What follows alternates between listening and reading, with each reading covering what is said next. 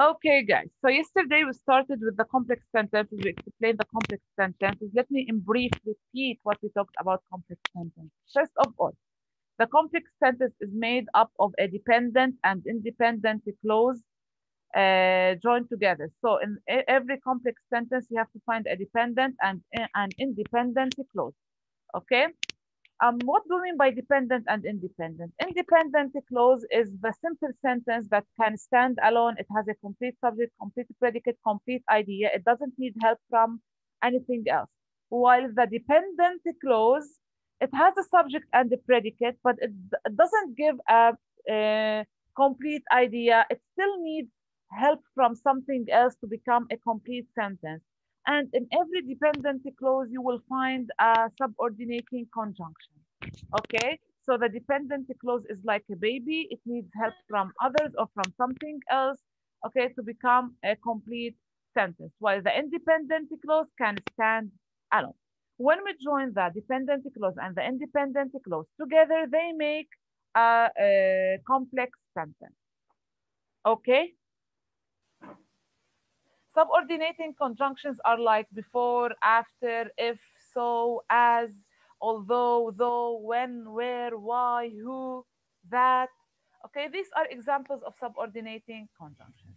So let's start with part D. Read each clause. Here I gave you six clauses. You have to read them. On the lines provided, write I if the clause is independent and can stand alone as a sentence. Write D if it is dependent and cannot stand alone. Underline the subordinating conjunction if it's a dependent clause. So if you find a dependent clause, so it must include a subordinating conjunction. So I have to underline the subordinating conjunction. Let's start with Amal. You're the first name on my list. Yes. Yalla Amal. Clause number one. I was, yeah. Number one. I was snippy with Him. with him. I was snippy with him. Is it dependent or independent? Ask yourself. Can can it stand alone or no? Independent. Independent, Independent. clause. Excellent. So we write I. Bravo. It's an independent clause. Thank you, Amal. Karim Bitar. Yes, Number two. Because I was running late for work. Because I was running late for work. I Is it independent? It can stand alone. It can stand. It can stand alone. Read it again. Because I was running late for work. So what happened because I was running late for work? Is it completed? No, it's not complete. It's not complete, so it cannot stand alone. So it is dependent. So it is what? Yeah. Dependent. We write D. Okay. Okay. So since it is a dependent clause, so it must uh, contain a subordinating conjunction. Where is the subordinating conjunction, Kareem? I was running Subordinating conjunction. Subordin- because Because. Thank you. So we underline because. Karim Kirdi. Thank you, Karim Bitar. What's the meaning of, of snippy? yes, Karim Kirdi, number three. Ali, you were saying something? What's the meaning of snippy? The What's the- first one, snippy. Ah, okay. What's the meaning of snippy? It uh, sharp. It, it comes like uh, sharp. Okay. I was rude with him. I was sharp. That's what we mean. Oh, Okay. Yeah. Uh, Karim Bitar, number three. After my parents agreed. you said Karim Kardemi or Karim Sorry, first you eh. said Karim. Karim Kirdi. Karim Kirdi. Sorry. Yes, Number three, Karim. after my parents agreed.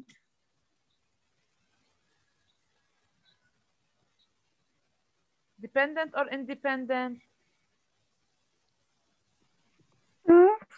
Independent? It can stand alone. Miss, No. read it well. After my parents agreed. Do I understand what they want to tell me? Kareem, do you understand what the sentence tries to tell you here? After my Yes. parents agreed. Is it complete? Dependent. It's dependent Depend. because it's incomplete. A dependent clause. What is this, what is the subordinating conjunction? What is the subordinating After After. Excellent. Thank you, ya Kareem. Ali Hamoud, Yes, miss. number four. He told me what they had decided.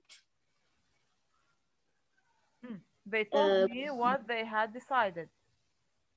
Independent. Independent. Thank you, ya Ali. Lana.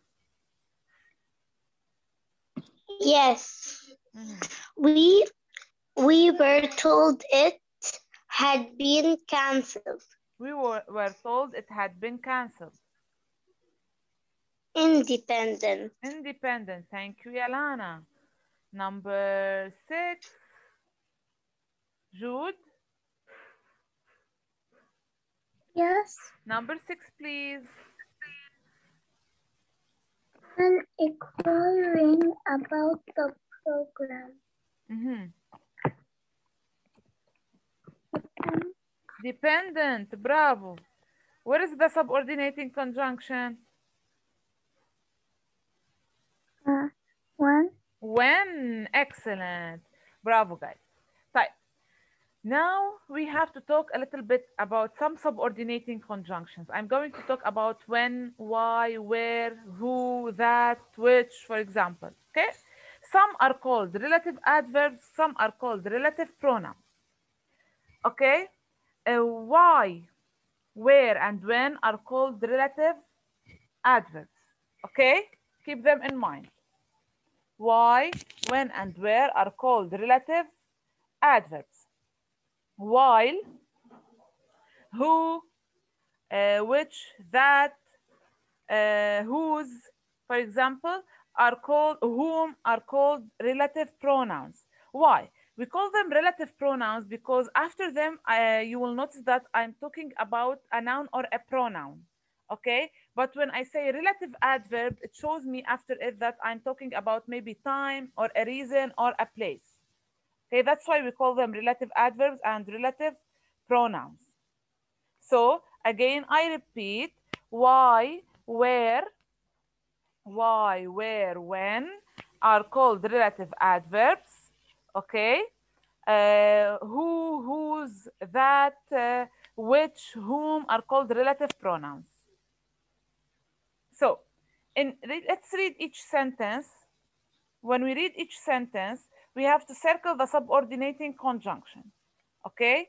We in each sentence, you will find a subordinating conjunction. We circle it. Then we have to tell if it's a relative adverb or a, relative pronoun. Okay? I will do number one for you. When John wrote an amazing paragraph, he earned an A plus in the course. Course, we mean in his subject.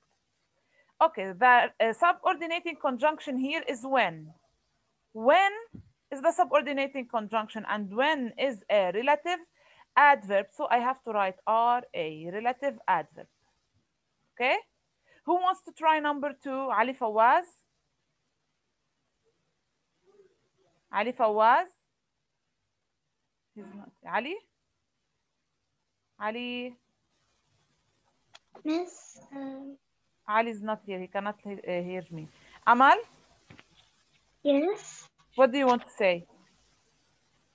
I want to ask, uh, ask something. Ask Hella quickly. um, I, still don't understand the uh, relative pronoun. That's nothing, just who, whose, whom, which, and that are called relative pronouns. If you go back to your book, grammar book, you will find them written there and you can memorize them. When, where, and why are called relative adverbs. That's what you should only know. The, the, when, where, and why are called relative adverbs. Who, whom, whose, which, and that are called relative pronouns. That's it. Okay? Okay. Yeah. Who wants to do number two? Quickly, please. Miss Lilian, Yes, Lana. Miss R A, it's relative. Adverb. RA is relative adverb, RP is relative pronoun. Okay, can I do the next one? Yes.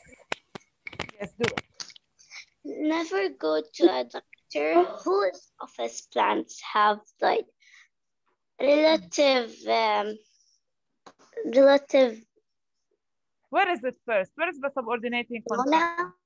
Relative pronoun but where is it?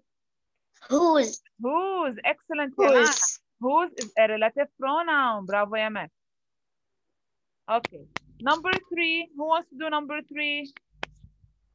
Who wants to do number three? Ali Hamoud? Me. Yes. Yalla, Ali Hamoud, number three. I want to visit the Number island. three, this is the book that everyone is talking about. This is the book that everyone is talking about. Relative, relative adverb. Where is it? Uh, that. That is a relative adverb, يا علي. I said that, that is a relative adverb. Pay attention. No, that's the relative pronoun.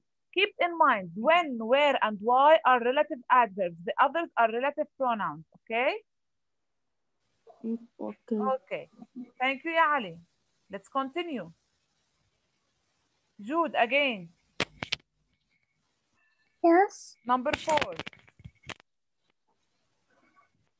I want to visit the ice.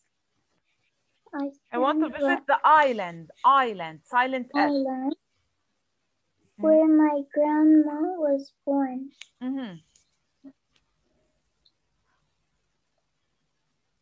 Where is the subordinating conjunction here? Relative adverb Uh, where is it? where Where? Excellent, Jude. Where is a relative adverb? Thank you.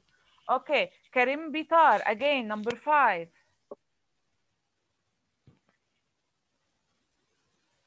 Karim, Yes. number five, please.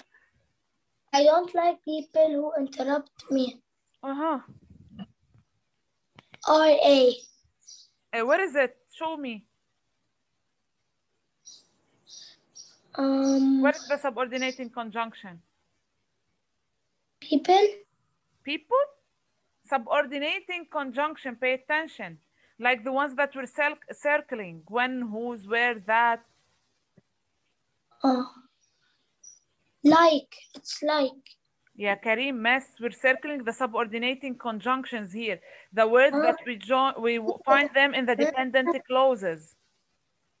Who? Who? Who is what? Relative adverb or relative pronoun? Pronoun. Pronoun, relative pronoun. That's right. It's a relative pronoun. Thank you, Karim. Karim Kirdi. Karim Kirdi. Yes, Number six, math. this is George, whom you met at my house last week.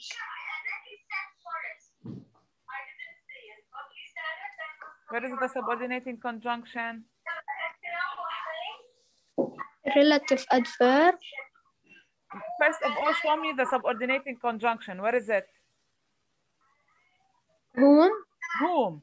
Whom is a relative adverb or relative pronoun? pronoun, Pronoun. Again, I repeat, guys. When, where, and why are relative adverbs. The others are relative pronouns. Last one. Thank you, ya Karim. Can I do number seven? Can I do number seven? Yes, le- Amal, do it. He didn't admit why he had cheated on the on the Okay. test. Why Why?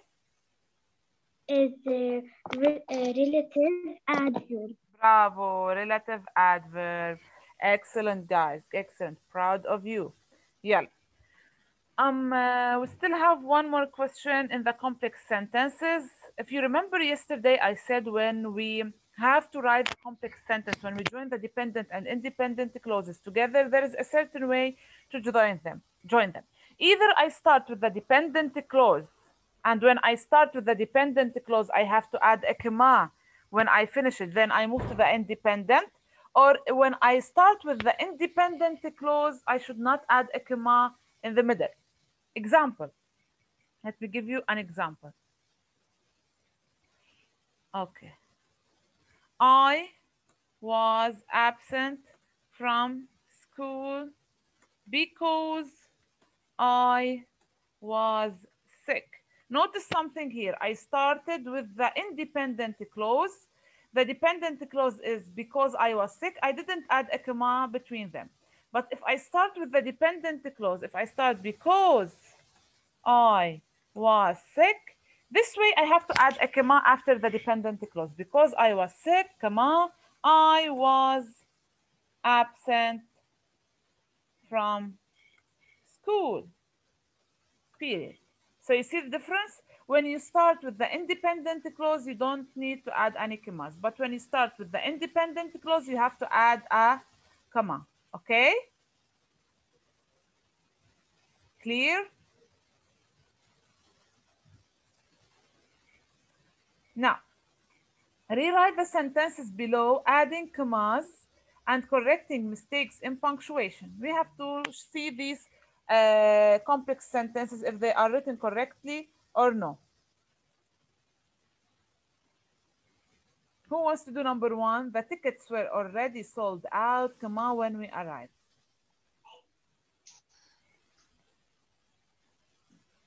Who wants to do number one, Lana? Yes. Yalla. What is the mistake here in the punctuation? The tickets were already sold out Hmm? when we arrived. Uh-huh. So what should we change? What should we change here? Where? What what should we change? The The tickets. were- ticket. Why would you change the tickets? The tickets miss. There is a mistake in punctuation. Commas and punctuation only. That's it. The mistakes are only in punctuation. Miss, as the examples that I gave to you, and notice here, the tickets were already sold out when we arrived. We started with the independent clause. When we start with the independent clause, then I must not add a comma here. So here I must move the comma, remove it, sorry. The tickets were already, already sold out. I have to remove the comma and I write when we arrived, okay? The tickets were already sold out when we arrived. We should not add a comma here because we started with the independent clause. So the comma is wrong. I have to remove it. Number two, who wants to do number two?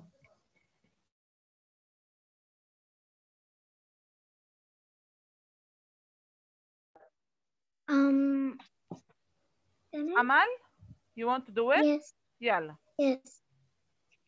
Uh, we decided to adopt, comma, after Weighing, weighing our options. weighing, weighing our options. Okay. What is the mistake here? Uh, the mistake is the comma. Comma, I should remove it also because I started with the independent clause. We, Right.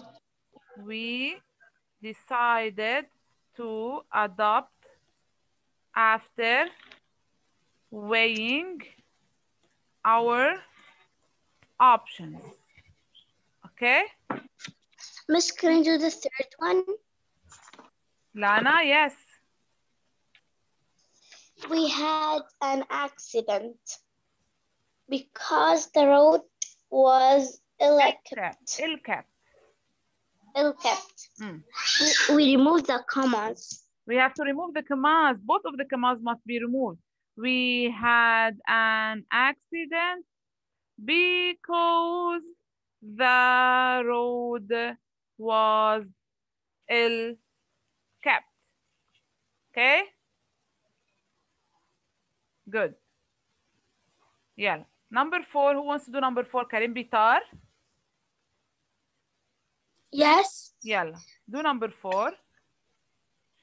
And Although, although, although having in the military, military, Joe is having trouble finding a job. Mhm. Notice something here. We started with the dependent clause, although he was in the military. So what should we do when we start with the dependent clause? Um, Although he was in the military, since I started with the dependent clause, ya Kareem, then I have to add a comma after the dependent clause. Okay? so, comma. Yeah. After the military, we have to add a comma. Although he was in the military, although he was in the military, comma. So you see, when you start with the dependent clause, you have to add a comma after the dependent clause. Joe is having uh, trouble finding a job. Okay? Clear, guys? So again, I repeat, when you start with the independent clause, there is no need to add any comma. But when you start with the dependent clause, you have to add a comma after the dependent clause. Clear? Let's move on.